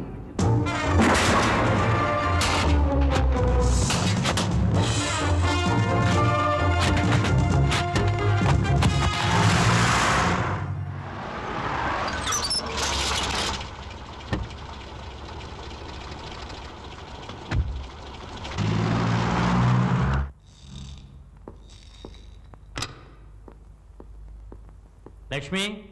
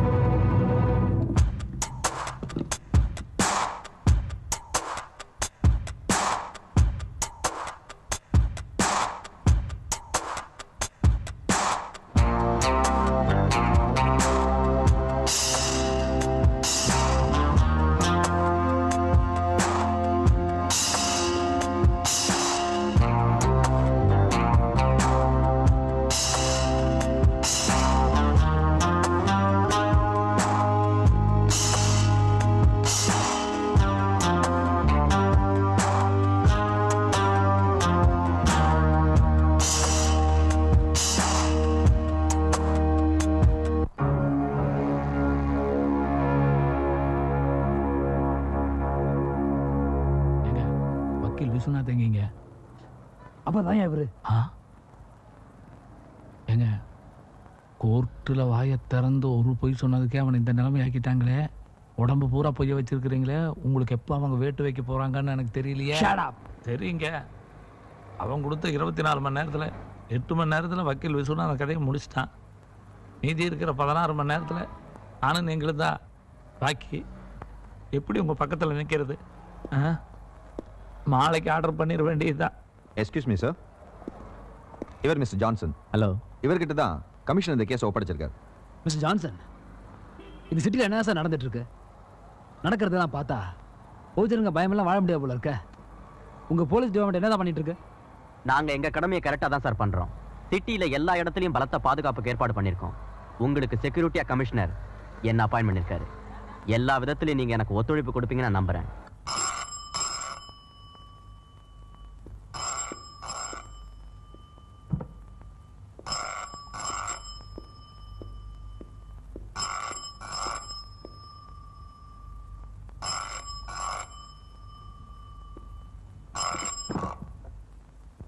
I am Johnson speaking sir வக்கீல் விஸ்வநாத்தை கொலை பண்ணிட்டாங்க. வாட் எப்போ? எக்ஸாக்டா மார்னிங் சிக்ஸ் தேர்ட்டி இருக்கும்னு நினைக்கிறேன் சார் அவருடைய பாடிக்கு பக்கத்துல சில ஆயுதங்களும் கிடைச்சிருக்கு. அதை வச்சு பார்த்தா அநேகமா அந்த தப்பிச்சு போன கைதிகள் தான் இந்த கொலையை செஞ்சிருக்கணும். எதா இருந்தாலும் கங்காதரனை காப்பாற்ற வேண்டியது நம்ம பொறுப்பு. ஓகே சார் நீங்க எப்போ சார் ஆஃபீஸ் வரீங்க எனக்கு உடம்பு சரியில்லாதனால ஆபீஸ்க்கு வர முடியல. நாளை காலையில வரேன். அப்புறம் கங்காதரனை பத்தி அப்பப்போ எனக்கு இன்ஃபர்மேஷன் கொடு. ஓகே சார் தேங்க்யூ சார் இப்போ ஒன்றும் கெட்டு போகல. சரண்டர் சட்டத்தை கையில் எடுத்துக்கிறது ஏழை இல்ல கமிஷனர் பணக்காரன். அந்த பணக்காரனுக்கு சட்டத்தின் பாதுகாவலன் சொல்லிக்கிற நீங்க வெறும் காக்கி சட்டை போட்ட shut up you culprit you ஐயோ வேண்டாப்பா அவரை கொண்டுடாத உன்னை கெஞ்சி கேட்டுக்கிறேன். அவர் உயிருக்கு எந்த ஆபத்து வந்துடக்கூடாது. என் தாலியை காப்பாத்துப்பா. என் தாலியை காப்பாத்து. சார் அர்ஜுனன் குறி வச்சா தப்பாதுங்கிற மாதிரி பரதன் குறி வச்சா தப்பாதுன்னு சொல்றாங்க. உண்மைங்களா சார் அவங்கிட்ட இருந்து என்ன காப்பாத்துவீங்களா? God bless you god bless யூவா இத்தனை போலீஸ் பாதுகாப்பு இருக்கும்போது காட் பிளஸ் ஏப்பா கதவு இழுத்து சாத்துங்கப்பா.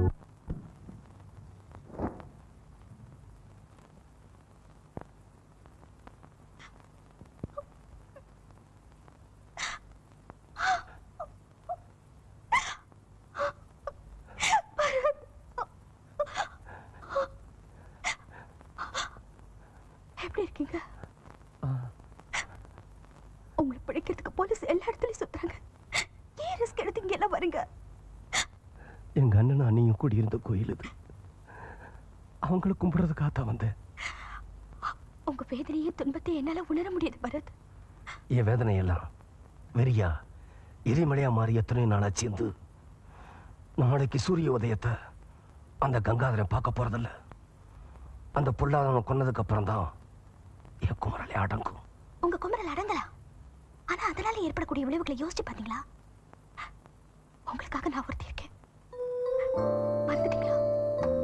என்ன மன்னிச்சிருந்து நீ சொன்னபடி இறந்தவங்க எனக்கு திரும்பவும் கிடைக்க போறதில்ல.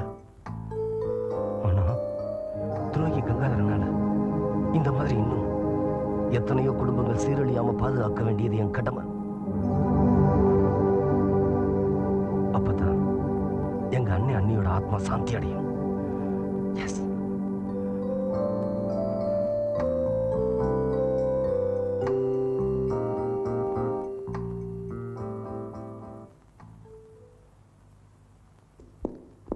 மிஸ் ஜான்சன் நான் சின்ன குழந்தையா?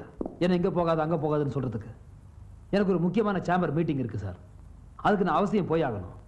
லுக்கியர் மிஸ் ஜான்சன் உங்களால் எனக்கு பாதுகாப்பு கொடுக்க முடிஞ்சா கொடுங்க.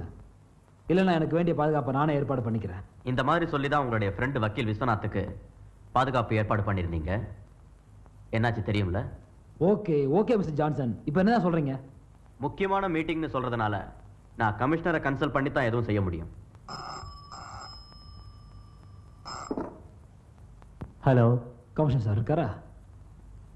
நான் ரொம்ப குழப்பத்தில் இருக்கேன் சார். என்னோட பாதுகாப்புக்காக நீங்கள் வச்சுக்கிற போலீஸ்காரங்களை என்னால் புரிஞ்சிக்க முடியல. சார் நான் அவசியமாக ஒரு சேம்பர் மீட்டிங் போய் ஆகணும். ஆனால் உங்கள் ஜான்சன் என்ன சொல்கிறாருன்னா நான் கூட டாக்ஸியில் தான் வரணுங்கிறாரு. அதை விட கொடுமை என்னன்னு கேட்டிங்கன்னா என்னோட காரில் என்னோட இடத்துல எனக்கு பதிலாக வேற யாராவது உட்காந்துட்டு வருவாங்களாம். என்ன சார் இதெல்லாம்? மிஸ்டர் கங்காதரன் நீங்க ஜான்சனுக்கு ரொம்ப கடமைப்பட்டிருக்கீங்க. ஏன்னா இப்ப நீங்க உயிரோட இருக்கிறதே அவர் தயவுனால தான் போன அவர்கிட்ட கொடுங்க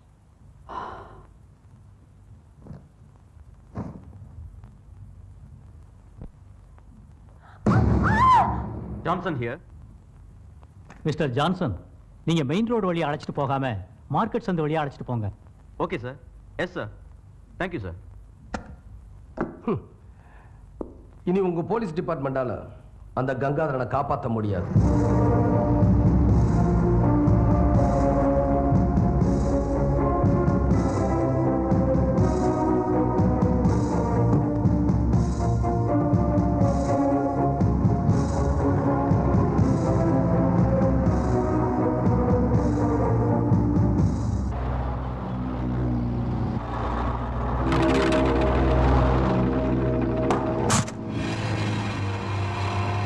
என்னையா டயர் பஞ்சர் ஆயிடுச்சா?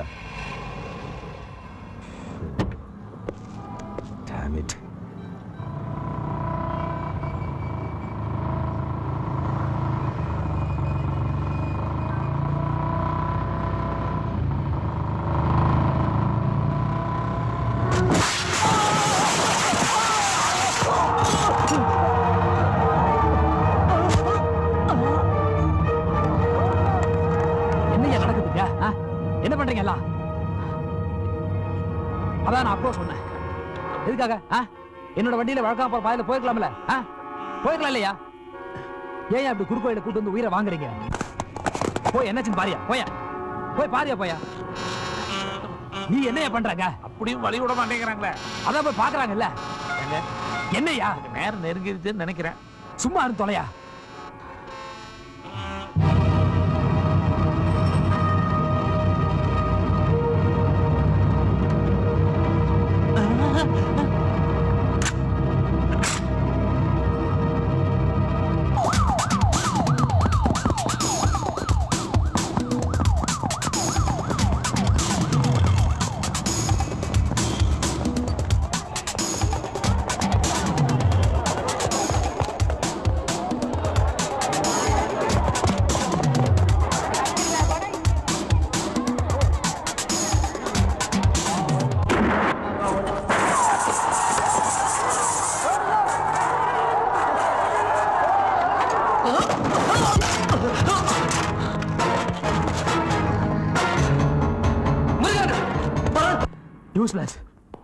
யூஸ்லெஸ் ஈரோடு இருக்கும் போதே திட்டிக்கீங்க. என்ன நடந்திருக்கு நேரம் சுற்றுப்பானையா? பாதுகாப்பு பாதுகாப்பு. போலீஸ்காரங்க போலீஸ்காரங்க.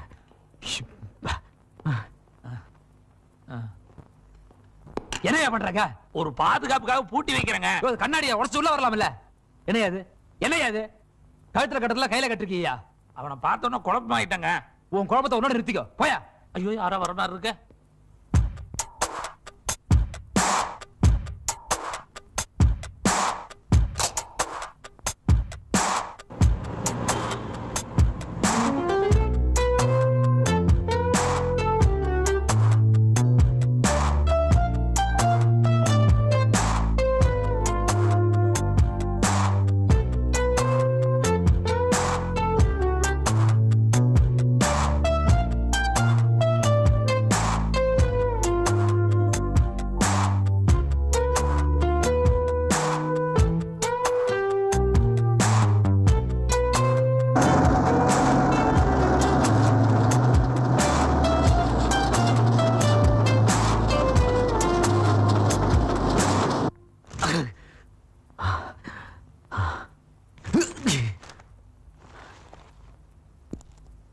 கால் இல்லாத குழந்தைகள்ல இருந்து கண்ணு தெரியாத கிழவங்கழி வரைக்கும் கூட பிறந்தவங்க நினைச்சு உதவி பண்ண இந்த கங்காதரன் இன்னைக்கு கடத்தலுக்காரன் ஆயிட்டான்.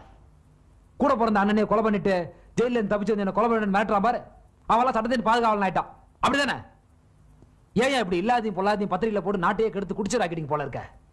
இந்த பார் இனிமே உன்னை நம்பி எனக்கு எந்த பிரயோஜனமும் இல்ல. யோ நீ என்னைய பண்றாங்க?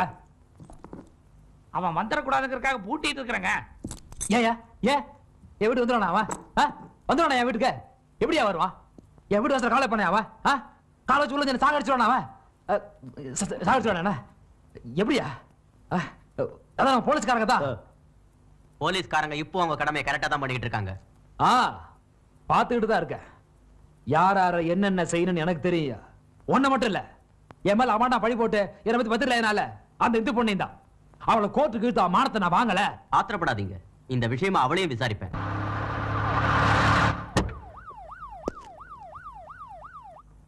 ஆமா ஜெயில பரத்தை நான் தான் மீட் பண்ணேன். அவன் ஒரு கொலைகாரன்னு தெரிஞ்சோம். நீங்க உங்க பத்திரிகையில இப்படி ஒரு ஆர்டிகல் கொடுத்தது ரொம்ப தப்பு. பரத்தை பத்தி உங்களுக்கு என்ன சார் தெரியும்? உங்களுக்கு தெரிஞ்சதெல்லாம்? அவர் தான் அண்ணனையே கொன்னவரு அண்ணியே வச்சு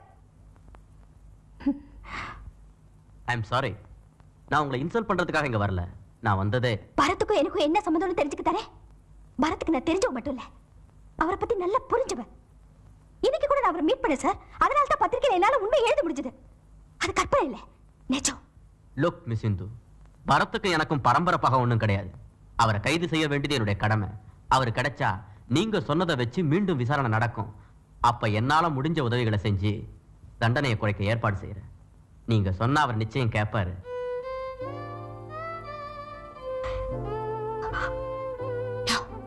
எஸ் அந்த மாதிரி பத்திரிகைகளை வெளியிட்டது பரத்தோட காதலி இந்துவேதான். இன்னைக்கு கூட அவ அவனை சந்திச்சிருக்கா. நானா இருந்தா நாலு சாத்து சாத்தி அவன் எங்க இருக்கான்ற உண்மையை வர வச்சிருப்பேன் பட் சேடி ஜான்சன் அவளை விட்டுட்டான். அவளை விட்டது நமக்கு நல்லதா போச்சு. என்னைக்கு இருந்தாலும் அவன் நமக்கு தேவைப்படுவா?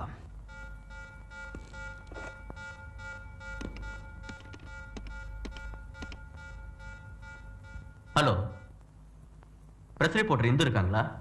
ஆமா நான் தான் பேசுறேன். நான் சிஐடி ஜான்சன் பேசுறேன். எங்க போலீஸ் டிபார்ட்மெண்ட்ல சந்தேகப்பட்டு ஒரு காரை சேஸ் பண்ணப்ப அந்த கார் ஆக்சிடென்ட்ல ஃபயர் ஆகி உள்ள இருந்த மூணு பேர் முகமும் உருக்குறைஞ்சு போச்சு. அவங்கள ஒருத்தர் உங்க பரத்தா இருக்குமோன்னு நாங்க சந்தேகப்படுறோம். எதுக்கும் நேரடியா நீங்க வந்து பாடி அடையாளம் காட்டினீங்கன்னா எங்களுக்கு உதவியா. ஹலோ? ஹலோ நான் இந்து பேசுறேன். பரத் இருக்காங்களா? அந்த பொண்ணு எந்த நம்பருக்கு ஃபோன் பண்ணுதுன்னு ட்ரேஸ் பண்ணுங்க. நான் பரத் பேசுறேன்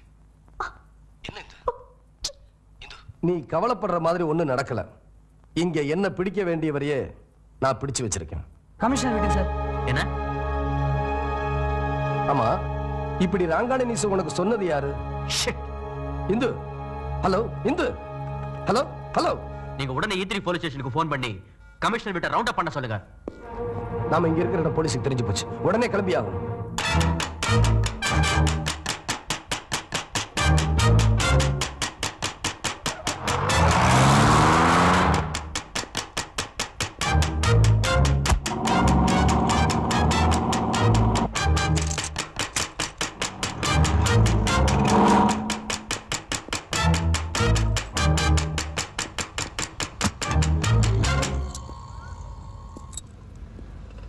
நான் அந்த கங்காதரனை கொல்ல போறது தப்புன்னு பட்டதுன்னா இப்பவே உங்க புருஷனை திறந்து விடுங்க. சரின்னு பட்டதுன்னா நாளைக்கு காலையில திறந்து விடுங்க. இல்லப்பா நீ நினைச்ச காரியம் வெற்றி அடையணுங்கிறதுக்காக என்னுடைய ஆசீர்வாதம் மட்டும் இல்லப்பா. என்ன மாதிரி இருக்கிற எல்லா தாய்மார்களுடைய ஆசீர்வாதமும் உனக்கு எப்பவும் இருக்கும்.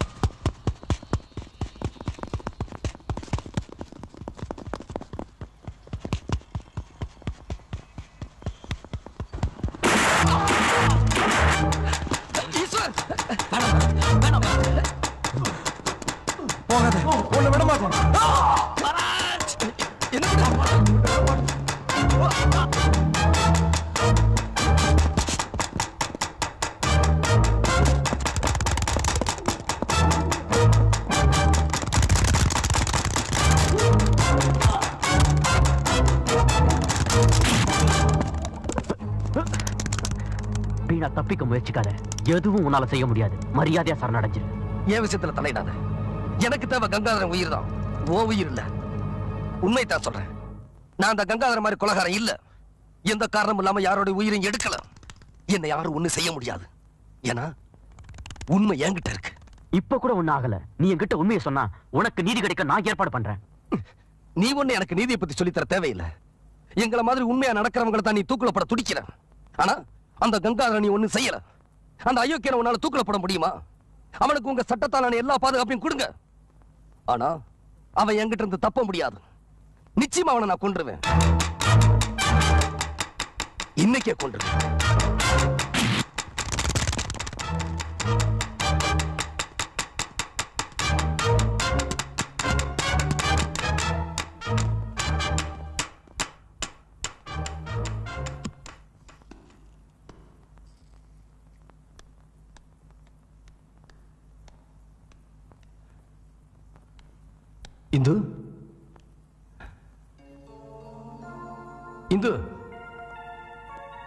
இந்து மிஸ்டர் பரத்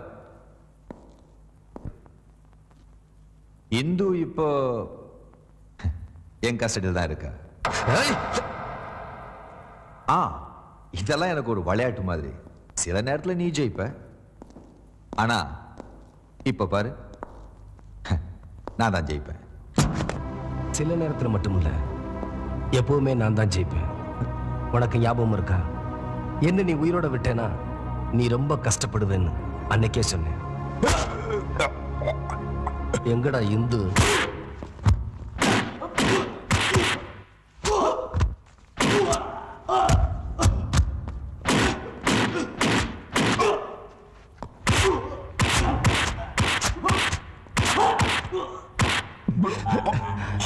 இந்து எங்கடா? சொல்லு. சொல்றேன். நம்பர் ஒன் தேர்ட் சீட்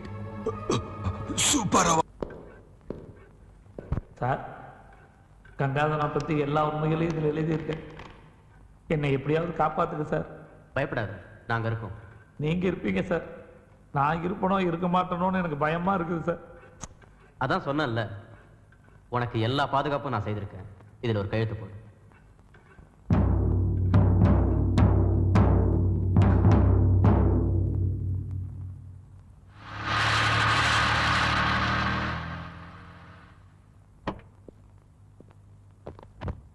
வெக்கமா இல்ல இதை சொல்றதுக்கு. பட்ட பகல்ல நடு ரோட்ல ஒரு இன்ஸ்பெக்டரை சுட்டு கொன்னு இருக்கான். அவனை உங்களால பிடிக்க முடியல. Very shameful excuse me sir செத்தவன் இன்ஸ்பெக்டர் மட்டும் இல்ல சார் அவன் பெரிய கிரிமினல் என்ன சொல்றீங்க மிஸ்டர் ஜான்சன்? சார் இது கங்காதரனுடைய செக்ரட்டரி வீரராஜ் கொடுத்த வாக்குமூலம் கங்காதரன் ஒரு சமூக விரோதி. பெரிய மனுஷங்கிற போர்வையில கள்ளக்கடத்தல் போதை மருந்து விபச்சாரம் எல்லா அயோக்கியத்தனத்தையும் பண்ணிட்டு இருக்கான். அவனை கைது பண்ண வேண்டிய இன்ஸ்பெக்டரே அவனுக்கு கைகூலியா இருந்திருக்கான். நாமளும் கங்காதரனை கைது பண்ணாம பாதுகாப்பு கொடுத்திருக்கோம். இது வரைக்கும் கங்காதரனுக்கு எதிரா ஒரு நடவடிக்கை கூட எடுக்கலையே? ஏன் sir? One minute mister Johnson உண்மை எப்பவுமே உண்மை எப்பவும் கசக்கத்தான் செய்யும். நீங்க கங்காதரனை பத்தி தெரிஞ்சுக்கிட்ட அத்தனை விஷயங்களும் எனக்கு எப்போவோ தெரியும். ஆனா அவனுடைய பணபலத்துக்கும் அரசியல் செல்வாக்குக்கும் முன்னாடி என்னால எதுவும் செய்ய முடியல. இத சொல்றதுக்கு நமக்கே வெக்கமா இல்ல? ஒண்ணு மட்டும் புரிஞ்சுங்க ஜான்சன். கங்காதர மாதிரி பெரிய ஆளுங்க செய்யற அயோக்கியத்தனத்துக்கு எதிரா சட்டப்படி நாம எதுவுமே செய்ய முடியாது. சட்டத்துல இருக்கிற ஓட்டைங்கனால அவங்க தப்பிச்சுக்கிறாங்க. நம்ம அரசியல் அமைப்பும் சட்ட விதிகளும் மாறினாத்தான் இவனை மாதிரி குற்றவாளிகளை தண்டிக்க முடியும். அப்படி பார்த்தா பரதம் குற்றவாளியே கிடையாது. சட்டமும் நாமளும் தான் குற்றவாளிங்க. அந்த பரதம் கோர்ட்ல நின்ன அன்னைக்கு அவனுக்கு ஒரு நியாயமான தீர்ப்பு கிடைச்சிருந்தா இன்னைக்கு இந்த நிலைமை ஏற்பட்டிருக்காது. என்ன மன்னிச்சிருங்க சார் நம்ம சட்டத்துக்கு கட்டுப்பட்டு மனசாட்சிக்கு எதிராக என்னால வேலை செய்ய முடியாது. உங்க மாதிரி நேர்மையான அதிகாரிங்க நம்ம டிபார்ட்மெண்ட்டுக்கு தேவை. என் கடமையை நான் உணர்ந்துட்டேன். எந்த கங்காதரனுக்கு நாம பாதுகாப்பு கொடுத்தோமோ அவனை இந்த ஆதாரத்தை வச்சு கைது செய்யறதா முடிவு பண்ணிட்டேன். ஆனா அதுக்கு முன்னாடி பரதனை பிடிச்சாகணும். அவன் மேலும் மேலும் குற்றவாளியாக கூடாது. சொல்ல மாட்டேன். நீ என்னை எவ்வளவு சித்திரவதைப்படாலும் பரத் எங்கே இருக்கான்னு நான் சொல்ல மாட்டேன். ம் நீ அவனை காதலிக்கிற. அவன் மேல உயிரே வச்சிருக்கிற. இது நாள் வரைக்கும் அவனோட வீக்னஸ் எனக்கு தெரியாமலே போச்சு. ஆனா இப்போ அந்த வீக்னஸ் என் கையில. உன்னதாமா சொல்றேன் பரத் வருவான். நிச்சயமா அவனை தேடி இங்க வருவான். அவனா இங்க வந்தாலும் சரி இல்ல நானே அவனை பார்த்தாலும் சரி. முடிவு என்னவோ ஒண்ணுதான். பரத்தோடைய சாவு. வருவாரு புயல் போல வருவாரு அது உனக்கே தெரியும். ஏன்னா சாவோட பயம் உன் கண்ணிலேயே தெரியுது.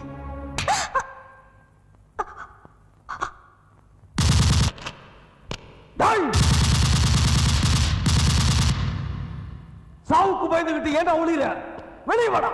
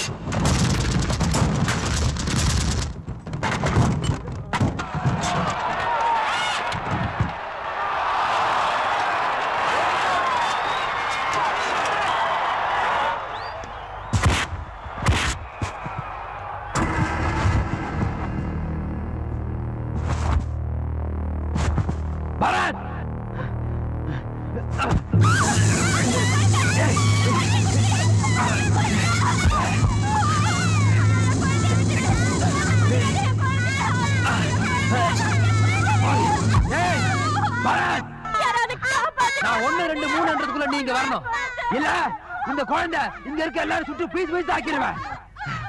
ஒண்ணு